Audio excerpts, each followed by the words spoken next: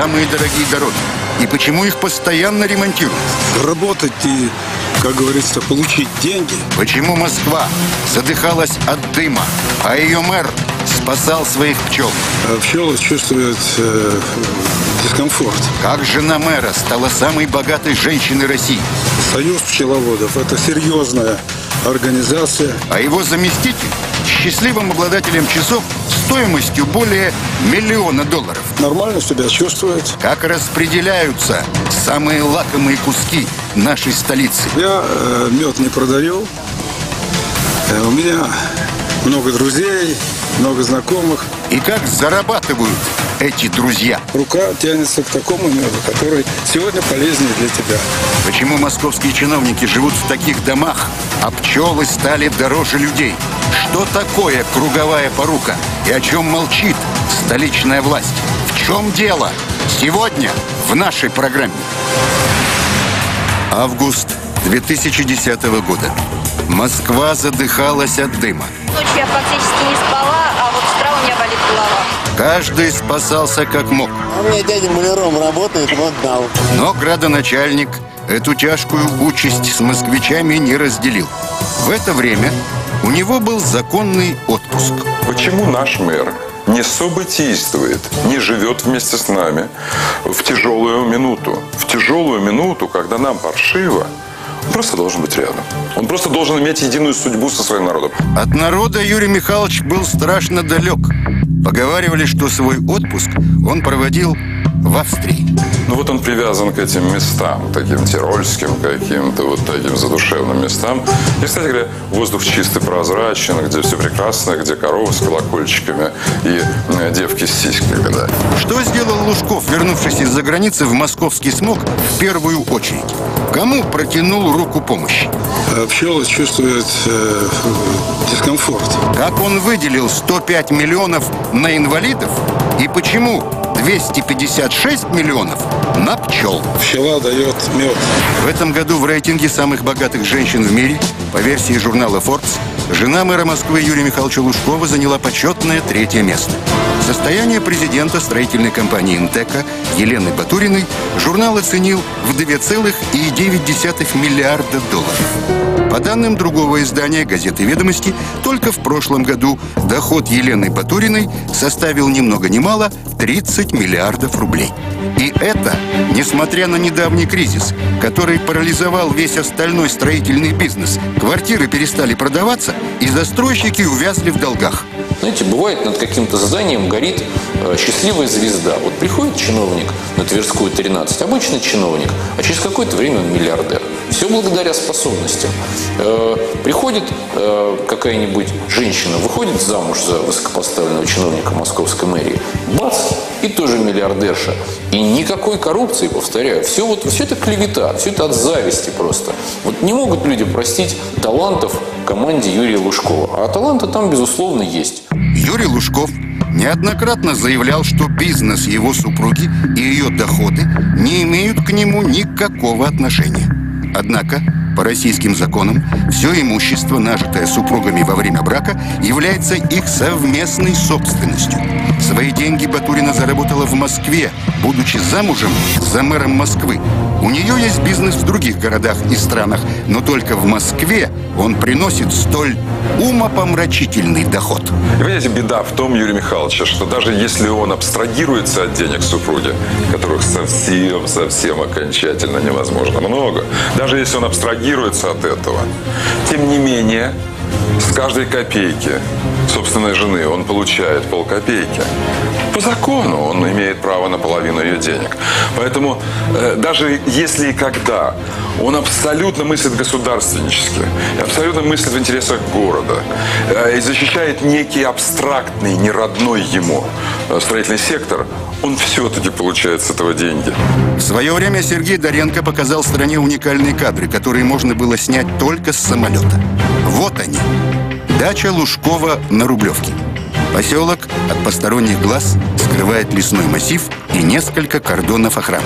Вот въезд в имение мэра. Все эти дома – место, где размещена охрана мэра и территория. Всего 80 гектаров.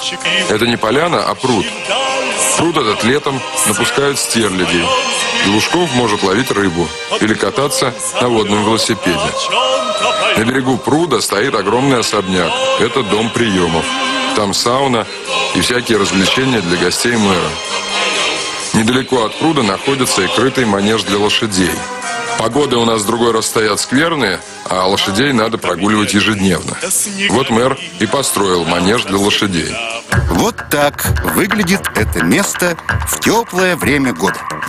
Нами иногда руководят глупые люди, к сожалению. И первый признак глупости – это жадность. Журналист Михаил Бекетов уже год между жизнью и смертью. Ну, подустали, подустали. Он первым начал бороться за Химкинский лес, через который должна была идти новая трасса Москва-Петербург. Писал то, что думал. В лицо чиновнику сказать, что ты вор. Он мог так вот подойти и сказать, что вы варье. Вы пришли сюда воровать. И вскоре стали происходить странные события. Сначала взорвали машину Бекетова, Все к этому шло. Я знал, что после последнего номера должны быть какие-то санкции. а потом его избили до полусмерти. Врачи чудом вытащили его с того света. Теперь он инвалид.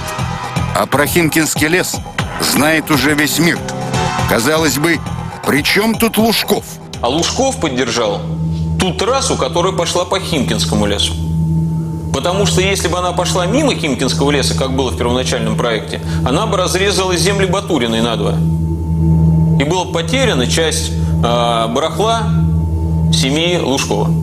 Поселок Молжениново входит в состав Москвы. Руководитель российского отделения Всемирного фонда дикой природы Евгений Шварц утверждает, на эту землю у столичных властей всегда были большие планы. Там э, в разное время были разные. Была постройка э, стадиона для гонок по Формуле-1, строительство гольф-клуба. Не так давно планы стали реальностью.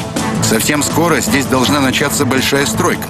Компания «Интека» арендовала в Молжениново ни много ни мало 225 гектаров. Потому что должна была дорога проходить по земле Батуриной, а не по Химкинскому лесу. Ну что такое земля Батуриной, что такое Химкинский лес? Конечно, стали вырубать Химкинский лес. Вместо того, чтобы отрезать кусочек от земель госпожи Батуриной.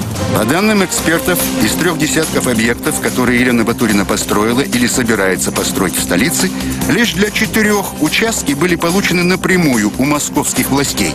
Это проект Молженинова и три участка под гостиницей в различных районах Москвы. Однако земельный участок становится по-настоящему дорогим после того, как его собственник получает право на его застройку, а право это предоставляет правительство Москвы, в том числе и мэр Лужков. Лужков, э, делая такие вещи, опирается на простое предположение, что Москва ему это э, не поставит вину, и Москва это ему простит. А, Значит, вот это очень важно. Это не, это не было бы прощено мэру Берлина, это не было бы прощено мэру э, Рима, не знаю, Лондона, Парижа. Никогда. Никогда.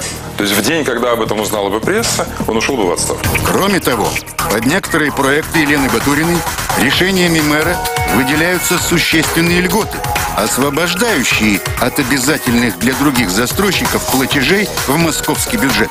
Более того, к некоторым объектам бесплатно за счет города подводятся новые дороги. В результате вот этот кусочек московской застройки по своему оснащению железнодорожной сетью будет едва ли не чемпионом Москвы. Сотрудник НИИ транспорта и дорожного хозяйства Москвы Михаил Блинкин показывает будущую дорогу к новому элитному микрорайону.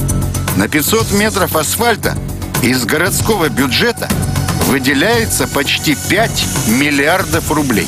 Если смотреть на карту Москвы и оценить дорожное оснащение других углов нашего замечательного города, то получается вообще-то не очень логично и справедливо. Дорогу строит компания жены мэра. Она же возводит и часть микрорайона. Жилье здесь не для бедных. Дорога должна быть хорошая. Если не жалеть на нее денег из городского бюджета, для бюджета семейного будет большая экономия. А там, где вечные пробки, строить дороги бессмысленно. Да и не